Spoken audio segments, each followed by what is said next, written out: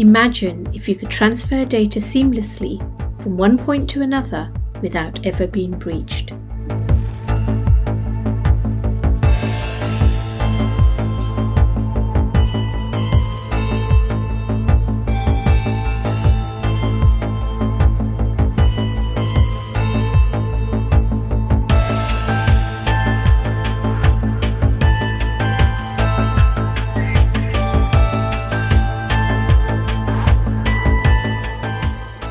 Hackers on the network intercepts data in transit and then modifies that data before retransmitting it.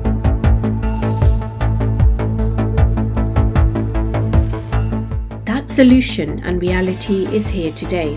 Quantum secure data transfer using microtoken exchange technology, which is FIPS 140-3 validated security protocol.